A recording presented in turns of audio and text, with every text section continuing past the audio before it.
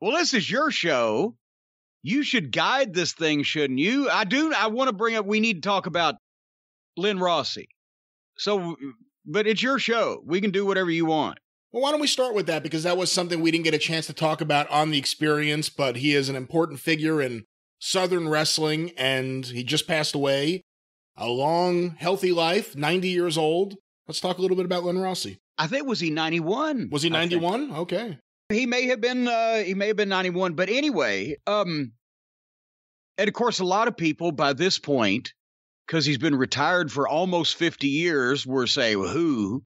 And if they you know bothered to read the stories they would know, have some semblance of knowledge of how important he was um because a number of the uh the major wrestling sites did uh capsule you know uh, encapsulations of his career and memoriam etc but um it's hard to explain to modern fans how important this guy was to one specific territory the Tennessee territory for so long a period of time and yet most people have never heard of him. Even they know Jackie Fargo but they don't know Len Rossi. Well because Fargo uh, through you know, not only luck, because as as we all know, Len's career was ended early by a car wreck. Uh, but that Fargo was the more colorful guy. Fargo was always. I look at it like this way: if you had to draw a, a more modern analogy, the way that Len Rossi and Jackie Fargo coexisted in the Tennessee territory. If Jackie Fargo was Dusty Rhodes and Len Rossi was Jack Briscoe in Florida, for a few more modern fans. Uh, I don't know if there is a more modern I- equivalent, but Len Rossi was the babyface, the wrestler. He was a real good athlete. He was a legitimate uh, amateur wrestler, and and he was he was the scientific, as they used to call the baby faces in the old days, the scientific wrestler. He didn't break the rules. He followed the science of wrestling. And he was fucking great. The drop kicks and the flying head scissors, and he could wrestle on the mat, and and he was a pure white meat baby face, you know, g- good body and athletic, but humble and soft spoken, you know, Italian, but the people knew that he had moved to Nashville and and uh, you know, made it his home for so many years, so he was the hometown guy. Whereas he had never been a heel. Fargo came in as one of the Fargo brothers, and they'd gotten over instantly because of their gimmick and their color and their personality, and they could work, but in a whole different way. Fargo was the he was dusty. He was a guy who, who you know he was the brawler. He used furniture. He fucking you know cut the promo. He didn't exchange wrist locks and flying head scissors. And Fargo became a babyface in the territory by being a heel for so long that, but finally he grew on people. And then, like a Steve Austin, as we've drawn the comparison, the people really switched him. And so then the bookers went ahead and switched him. And he never was a wrestler, wrestler, but he had all the color. So, you know, he was the he was the entertainment. But Rossi was more important to Nick Gulas's promotion on in the office than Fargo ever was. Fargo was the top guy, he was the main event star, and he always, I think, even though Rossi was so consistent for so many years, Fargo was still the, the box office attraction, but Rossi often would book for Nick. And I don't think that Far- I don't think Fargo ever wanted to book. I don't think they ever let him book. I'm sure he probably booked a bunch of shit for himself. and being the the top guy, you could do that but Rossi was always the faithful guy, and that's why when um the the split happened between Jarrett and and Nick Gulas, even though Rossi uh, was mostly retired at that point because the car wreck had happened the end of 72, Len Rossi was never a big deal in Jerry Jarrett's towns. Um, Fargo was. Even before Jarrett split from Gulas, when Jarrett broke off and and established the the the you know uh, the uh, didn't break off but it opened up Louisville and Evansville Indiana and and was booking Memphis and that ended up becoming a separate territory. We've talked about this on the program. In the late 60s early 70s the Tennessee territory under Nick Gulas was so big had so many weekly towns they actually had two territories in one. Len Rossi never went to Memphis because it was on Monday nights, and that was where when Birmingham ran. And he was the undisputed, you know, top most popular guy in Birmingham. And that was Nick's town. Roy Welch and later Jerry Jarrett ran Memphis, and that was their town. And Jarrett had been a fan of Fargo's, and Fargo had been most over in Memphis among all those years. So it just it happened that way. Anyway, Fargo and Rossi, as you've talked about, and Brian, you can come in on this. Fargo and Rossi didn't really get along because of that rivalry and both of them really being the top guy and being such different kind of people to begin with. But you know, at the same time, Rossi was was a, a, more important office guy. He later on he did commentary for Nick after his wreck, even though he wasn't real, real, real good at it. But it was because of his name. Wasn't he and, Nick's booker too? And and like yeah, he he booked off. He booked when he was still in the in the business. Booked, you know, Nick's in the towns like Birmingham and Chattanooga that often had separate programs running than the northern towns are over in Memphis. So, but there was that rivalry between him and Fargo. They never really had a lot of good things to say about each other.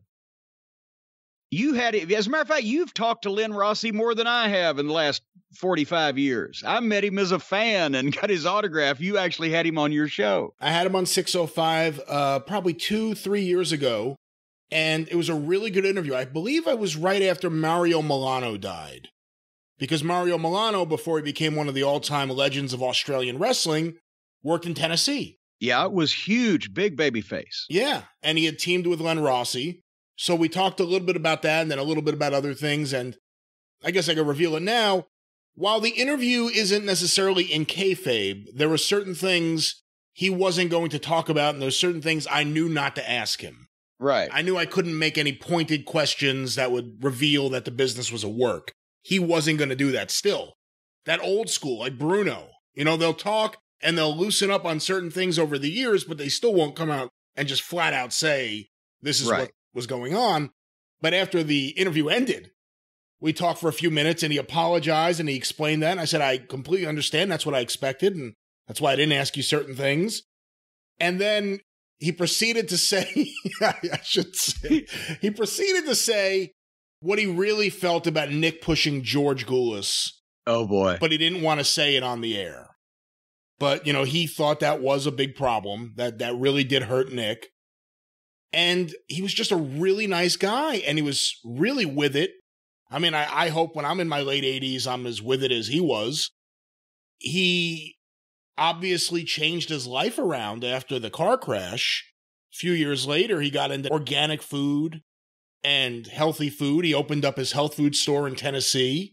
Yeah, as a matter of fact, that was uh, back then. There were really not really such things as health food stores. Um, he said eh, after 20 years of wrestling and and almost 15 years being a top guy in Tennessee and like we said booking for Nick and and you know being a, a top star he has the car wreck. He can't wrestle anymore. He started drinking and was depressed. And then I can't even remember what the happenstance was that led somebody to mention hey you could change no he got um some kind of didn't he uh, get to the hospital? He got sick, diverticulitis or some yeah. kind of stomach issue, and the doctor said you can cure this. And he got into eating healthy and naturally.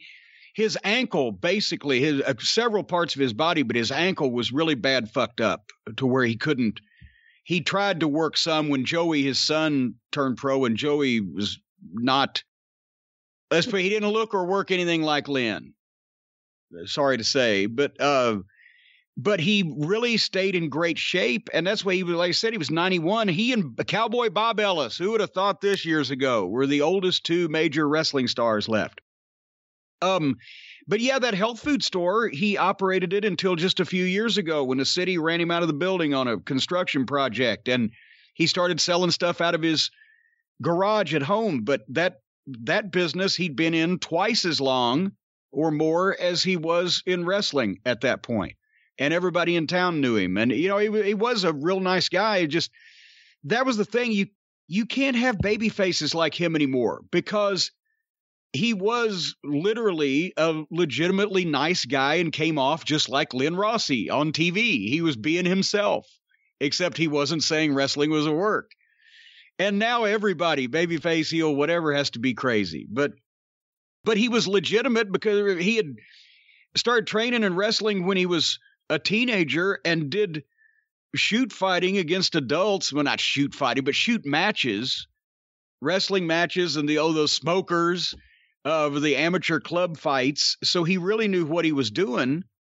So the people could believe that, but at the same time, he just, all he had to do was be himself, and that's why they picked him to be with Bearcat Brown, I think, because um, Jarrett was uh, fiddling around with it um, in his booking. Uh, Bearcat Brown and Johnny Walker before he Bearcat teamed up with Len Rossi had been a team uh, briefly, but they put Bearcat Brown and Len Rossi together as the first mixed, integrated, however they sold it, uh, black and white tag team in the Tennessee area, which uh, took in Birmingham, Alabama as well, which was a hot spot in those days. And this was 1969. But it worked because the black people loved Bearcat Brown and everybody loved Len Rossi. And if Len was teaming with Bearcat, well, then it had to be okay. And so there was no fucking problem. But then they did the angle in, in Birmingham where the interns and Ken Ramey painted Bearcat Brown white on Birmingham television. And they sold out the Boutwell Auditorium weeks and weeks in a row on that program. And of course, you couldn't do anywhere anything anywhere near that today. But nobody was mad at the promotion. There were no calls to take wrestling off the air. The building didn't kick them out. Obviously, they were selling out every week. 6,000 people. Um the heels got the heat. And and as I recall, after that program, they sent the interns out of the territory because they were worried about them. But it, at the same time, that's what made. And then they took it. That was um, Len and, and, Bearcat were uh, were an early babyface team here when Jarrett opened up Louisville, which it wasn't quite as odd here as it was in Birmingham, but it still hadn't been done because Louisville had been dark since the early since before the Civil Rights Movement. Fucking uh, the Civil Rights Act was signed. Um, but all over the territory, they, you know, they did that and they were huge as a fucking team. And they had a couple year run before his wreck, but it was it was big business. When you were going to ask a question, when I was going to say when Len died, I went and looked through the archives and I found my Len Rossi folder. Uh, you know, again, this is the archives that are from Wrestling News, Wrestling Review, Ring Wrestling. I think this would be from Ring Wrestling and maybe from Wrestling Review. I'm not sure.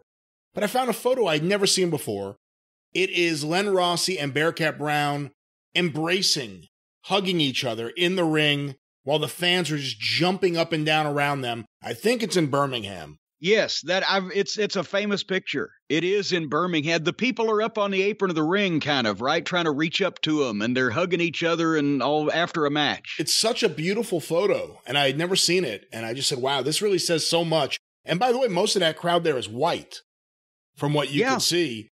And it's a pretty big thing. You know, we talk about Sputnik Monroe and whatever, you know, whatever he did, whatever Roy Welch did, but the African American fans were allowed to attend wrestling shows because of Sputnik Monroe in Memphis.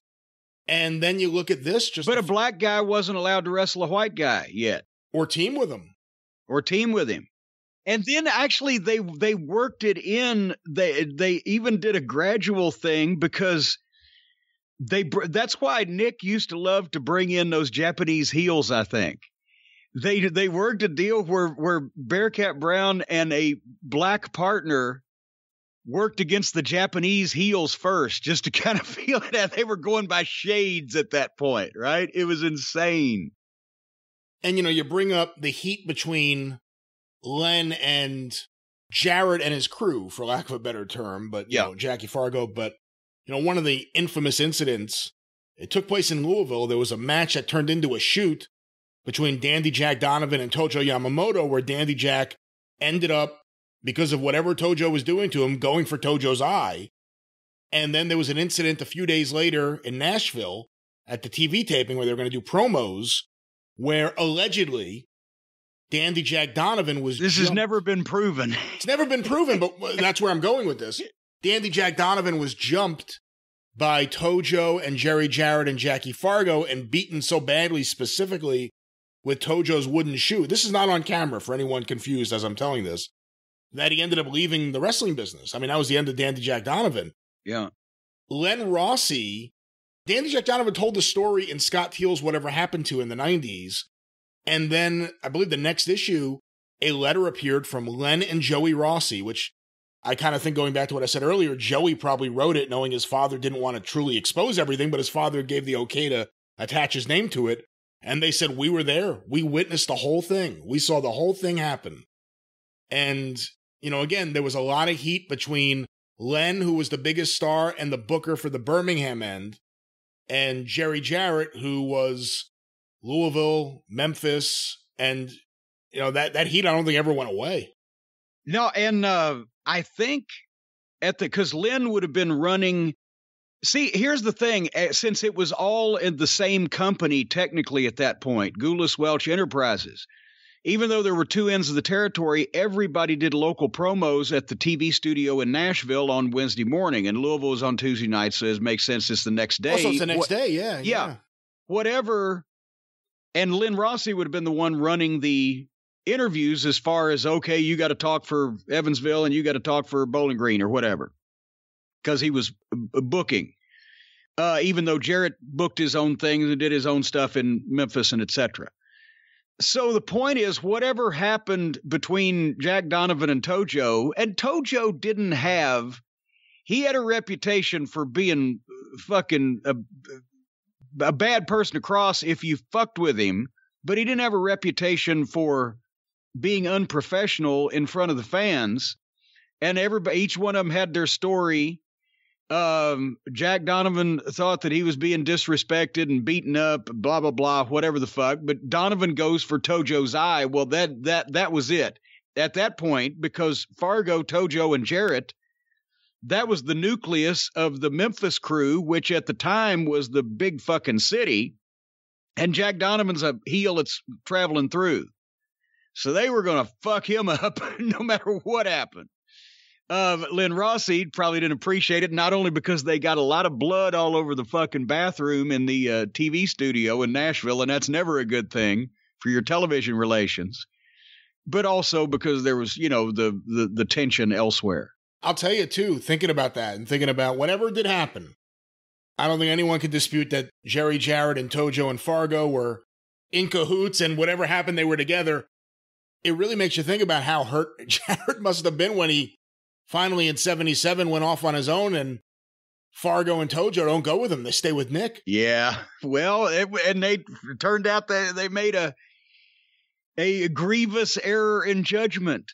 But they, at the time, I think I think there was a, probably a thing where uh, they'd worked for Nick for fucking twenty years at that point, and there was some loyalty, but also I think they thought that, you know, Jerry might be fucking up with doing this, starting on his own like that. And and they didn't want to at that point in their career, you know, choose the wrong side. And within a short period of time, they had realized that the worm had turned.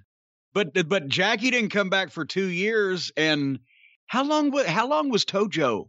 It was about the same amount of time. Jarrett kept him out for a couple years to just make the point.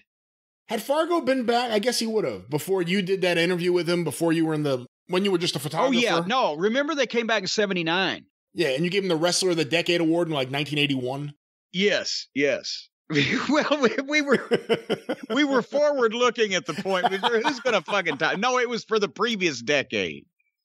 Truthfully, that's the way it was presented. I don't know if I got that out or not, but it was for the previous decade. Another thing I think it's important to point out. You brought up Joey earlier is just how much his son Joey meant to him. And I know that when I talked to him a few years ago, which was several years after Joey had passed, I think it was cancer.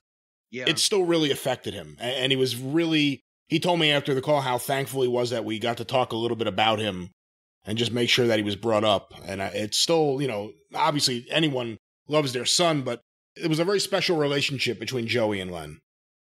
Yeah, and and that was and I think it was probably for the best that eh, that Joey did not try to pursue wrestling any longer than he did.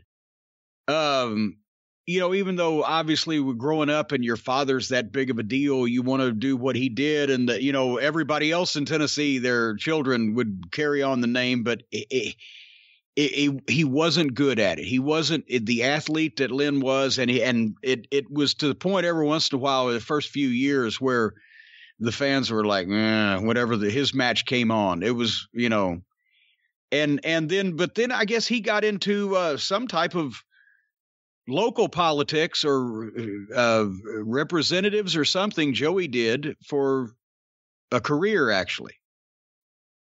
I remember seeing that somewhere. I don't know. And, you know, just again, a remarkable career. Len Rossi, an Italian guy from the Northeast, becomes the biggest babyface in Tennessee and Alabama.